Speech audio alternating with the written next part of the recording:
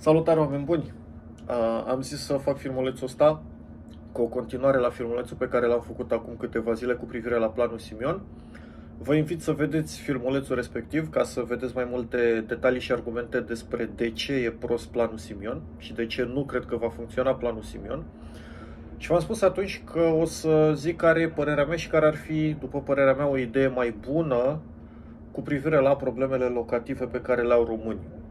Problema principală din planul Simion cu privire la apartamentele alea la 35.000 de euro pe care vreau să le dea românilor sau să le vândă românilor, problema e că apartamentele alea o să ajungă înapoi pe piață. În momentul în care dai niște apartamente la un preț mic sub prețul pieței, e foarte probabil ca după, nu știu, câteva luni, un an, doi ani, trei ani, cinci ani, zece ani, apartamentele alea să ajungă înapoi pe piață și să fie vândute la prețuri mult mai mari, și oamenii respectivi să ajungă, pentru că evident au probleme financiare, s-ar putea să ajungă din nou să stea în chirie, deci practic peticești problema, nu rezolvi pe termen lung. Uh, și chestia asta s-a observat chiar și în UK, uh, da, în Anglia, au avut același program prin anii 80, uh, statul deținea case, apartamente, le-a vândut proprietarilor pe sume mici, după care, la câțiva ani după, apartamentele respective au ajuns pe piață, și oamenii, în special generația tânără, au ajuns să stea în chirie și să nu-și mai permită uh, apartamente și case. Uh, și asta se va întâmpla și cu planul Simeon, presupunând că omul ăsta chiar ar reuși să facă numărul de apartamente pe care zice că vrea să le facă. Eu am îndoiele în legătură cu chestia asta, că le va face în primul rând, dar uh, problema e că și dacă le va face, asta este o soluție care va fi maxim pe termen scurt pe termen de câțiva ani, pentru că apartamentele alea, casele alea vor ajunge înapoi pe piață. De fapt, apartamente că nu sunt case. Uh, care ar fi soluția mea? Păi soluția mea ar fi ca statul să construiască apartamentele respective pe banii statului. Uh, cum face rost statul de banii respectivi? Poate, spre exemplu, prin împrumuturi, emitere de obligațiuni. Da? Emite obligațiuni, ia banii respectivi și construiește exact pe modelul, pe modelul construcției de autostrăzi. Dar casele, apartamentele respective rămân în proprietatea statului și statul le închiriază. Uh, cum închiriază statul mai exact apartamentele astea? Există diverse modele prin diverse țări ale lumii de unde putem să ne inspirăm și să facem treaba asta. Avantajul aici e că uh, apartamentele respective nu o să-ți ajungă uh, de la niște oameni disperați imediat pe piață, astfel încât oamenii ăștia să-și piardă, practic, să-și vândă casele, să marcheze eventual un profit la început, după care în câțiva ani sau câteva, nu știu, 10 ani, 15 ani să ai din nou aceeași problemă. Uh, statul poate să facă contracte foarte mari, să negocieze niște prețuri sau contracte mari, da? și să negocieze niște prețuri cu constructorii, niște prețuri preferențiale, niște prețuri mai bune, astfel încât costurile uh, să fie mai mici, costurile de construcție să fie mai mici, chestie care nu se întâmplă în planul Simion. Uh, pentru că planul Simion e un fel de calmăgar, stat privat, statul nu oferă cine știe ce, dar uh, în fine, uitați-vă la filmulețul pe care l-am făcut acum câteva zile ca să vedeți exact care sunt problemele, că nu vreau să le, nu vreau să le reiau acum. Um, încă o chestie, se bate foarte mult uh, uh, se bate foarte mult apa pe apartamentele alea de două camere la 35.000 de euro din planul Simion. Uh, E, să știți că un apartament de două camere nu e chiar ceva optim pentru cineva care vrea să aibă o familie. Cineva care vrea să aibă o familie, dacă are, nu știu, un copil, doi, are nevoie de măcar trei camere. Două camere sunt foarte puține. Că ce faci? Copilul stă într-un dormitor și sau copiii stau în dormitor și tu cu nevasta eventual stați în sufragerie. Uh, sunt niște probleme cu spațiu. Un apartament de 60 de metri pătrați, cum v-ați facă George Simion pentru o familie, este ceva foarte puțin de eu cred că statul ar trebui să construiască uh, case cu garsoniere, apartamente de două camere, apartamente de trei camere și chiar și apartamente de patru camere. Ce trebuie să facă statul? Statul trebuie să închirieze aceste apartamente la niște prețuri sub prețul pieței. Și în felul ăsta se mai duce și prețul pieței un pic în jos. Uh, pe ce criterii urmează să se distribuie apartamentele astea? Din nou, rămâne de văzut, rămâne de discutat. Uh, ce trebuie să evităm în momentul în care facem chestia asta este să evităm o ghetoizare. Adică să avem oameni cu diverse, nu știu, nivele de educație și așa mai departe, astfel încât să avem blocurile astea destul de mixte, astfel încât să nu creăm ghetouri. Pentru că ultimul lucru pe care vrei să-l faci este să creezi niște ghetouri în care nu o să mai vrea nimeni să stea la un moment dat. Uh, dar, într-adevăr, e nevoie de apartamente mai mari, e nevoie de apartamente ceva mai spațioase, dacă chiar vrem să rezolvăm problema demografică, pentru că oamenii care au familii mari, în general, sau 2-3 copii, nu o să vrea să stea în, uh, în apartamente cu două camere. Uh, iarăși, făcând apartamentele astea de stat și închiriindu-le la prețuri sub prețul pieței, nu mai ai problema cu rate la bănci mari, nu mai ai problema cu dobânzile, pur și simplu statul le închiriază. După cum am zis, la un preț sub prețul pieței. Uh, statul, am zis, se împrumută prin emisie de, emisiune de obligațiuni ca să construiască uh, blocurile respective. Acum, pe măsură ce sunt construite și statul începe să primească chirie de la oamenii respectivi. Pe măsură ce se întâmplă chestia asta, statul plătește înapoi datoria din chiriile pe care le încasează. Uh, și în felul ăsta, după, nu știu, 20 de ani, să zicem, după ce se amortizează costurile de construcție, statul rămâne cu active, active care îi generează uh, venit, venit la stat, da? din chirie. Dintr-o chirie, din nou, sub prețul pieței, că de astea sunt locuințe sociale.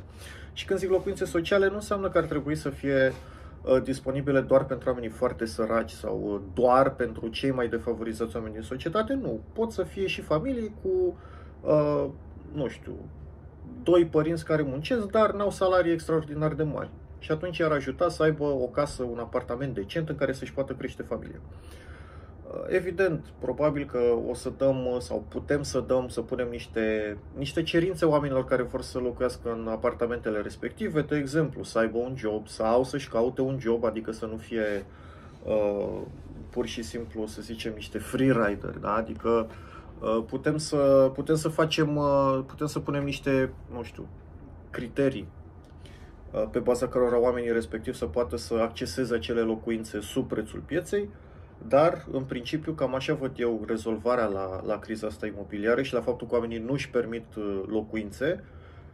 Eu așa văd rezolvarea uh, asta din zona de stat, ca statul să se implice, să construiască, să închirieze, la fel cum se întâmplă prin foarte multe țări din vest. Uh, partea cu construim blocurile, privatul construiește blocurile, omul se împrumută la bancă uh, și statul, nu știu, dă o dobândă imposibil de mică, astea sunt doar chestii populiste pe care le zice George Simion. Deci, uh, da, cam așa ar fi pe scurt, uh, asta ar fi pe scurt ideea mai bună și soluția mai bună dintr-o perspectivă a statului pentru rezolvarea crizei imobiliare sau crizei Uh, accesului la locuințe pentru foarte mulți dintre români și pentru foarte mulți dintre tineri, de fapt. Pentru că dacă ne uităm în orașele mari, uh, procentul de tineri care își dețin propriile locuințe este destul de mic. Per total, în România, procentul de oameni care își dețin locuințele e peste 90%, uh, dar dacă, dar dacă ne uităm în orașele mari, dacă ne uităm în orașele mari, Uh, procentul începe să scadă sub 90% și cei mai afectați sunt, de fapt, uh, tinerii care nu-și permit locuințe. Bun, cam asta ar fi prima chestie și al doilea subiect despre care aș vrea să vorbesc uh, ar fi celebra întâlnire în care Joana a fost văzut și fotografiat la masă cu Marius Tucă, cu Ciolacu și cu Victor Ponta. Uh, din nou se pare că Mircea Joana nu prea înțelege că n-ar trebui uh, să se pozeze cu niște oameni și aici nu vorbesc de Ciolacu, vorbesc mai degrabă de Marius Tucă, care are, Marius Tucă are niște prezențe destul de putiniste în spațiu public în ultimii ani uh, și cam la fel și cu Victor Ponta. Deci Victor Ponta și cu Marius Tucă nu sunt două persoane cu care ai vrea să te, cu care ai vrea să fii văzut în circunstanțe foarte amiabile și foarte amicale. De ce a făcut o greșeală Mircea Joana afișându-se cu, cu oamenii ăștia? Pentru că Mircea Joana are acum imaginea de secretar adjunct NATO, deci practic un om foarte pro-vest, pro-Ucraina și chiar e în discurs cel puțin foarte pro-vest și foarte pro-Ucraina. Acum când tu te afișezi cu oameni care și ești foarte familiar și foarte prietenos la sindrofie, la ziua lui Marius Tuc, am înțeles că era. Și te afișezi cu oamenii ăștia, deja încep să se ridice semne de întrebare cu privire la, nu știu, moralitatea ta și modul în care vezi tu, de fapt, uh, lucrurile și modul în care ești tu de fapt pro-vest și pro-Ucraina și pro așa mai departe. Și ți se cam ia sau încep să apară îndoiel cu privire la cât de pro-vest ești tu și cât de, uh, nu știu, vertical ești tu de fapt ca om care pozează și care vrea să pară uh, pro-european, pro-vestic, pro-american. În momentul în care te afișezi cu oameni de genul ăsta, aceeași problemă pe care a avut-o Mircea Joană uh, la ultimele alegeri la care a candidat și a pierdut în fața lui Băsescu, când a găsit el de cuvință să se ducă să se afișeze cu Sorin Ovidiu Vântu. Bine, se ducă la o întâlnire de taină cu Sorin Ovidiu Vântu. De data asta se pare că Mircea Joană nici n-a mai făcut-o de taină, pur și simplu a zis hai să mă văd cu, nu știu, prietenii mei, cunoscuții mei și n-a avut nicio problemă în a, în a se afișa cu ei. Asta în condițiile în care el pozează și în candidatul independent. Candidatul independent pro-NATO, pro-vest, care e văzut la Sindrofi cu niște oameni care au niște simpatii către zona Rusiei, nu știu, către zona Chinei, în cazul uh, lui Victor Ponta.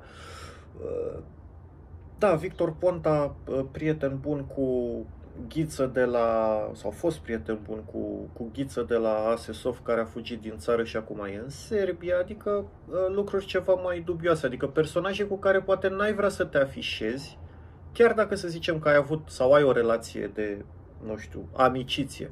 Probabil că n-ai vrea să te afișezi cu ei fix în anul electoral în care cel mai probabil vrei să candidezi la președinția României pe o platformă de independent. Pentru că în momentul în care lumea vede chestia asta, numai independent nu pare. Pare așa că ești un om din sistem, un om cu băieții, dar care vrea să pozeze în independent. Chestie care dă foarte rău la imagine și Mircea Joan ar fi trebuit să știe deja chestia asta din experiența proprie când cel mai probabil a pierdut alegerile sau a pierdut foarte multe voturi oricum, fix din cauza faptului că s-a dus și s-a prezentat uh, cu o zi înainte de dezbaterea cu Băsescu, s-a prezentat să discute, nu știu ce naiba să discute, cu Sorin Ovidiu Vântu. Chestie care a fost folosită împotriva lui și va fi folosită împotriva lui din nou, nu neapărat chestia cuvântul, dar diverse asocieri pe care le are între timp. Deci Mircea Joană, dacă vrea să pară și să pozeze în independent, care nu are legături cu băieții dubioși, de prin media sau de prin politică, ar trebui, nu știu, poate să nu se mai expună anul ăsta în relații cu el, pentru că altfel își, își pierde toată credibilitatea de om uh, independent. Bun, uh, cam atât pentru azi. Vă doresc uh, o zi minunată. Pa, pa!